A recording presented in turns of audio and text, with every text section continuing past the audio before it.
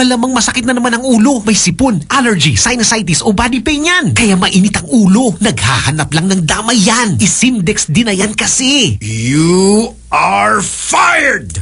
Out now! Hala, malamang masakit na naman ang ulo. May sipon, allergy, sinusitis o body pain yan. Kaya mainit ang ulo. Naghahanap lang ng damay yan. Isimdex din na yan kasi. Phenylpropanolam hydrochloride chlorphenamine maleate paracetamol is the generic name of Simdex D. If symptoms persist, consult your doctor.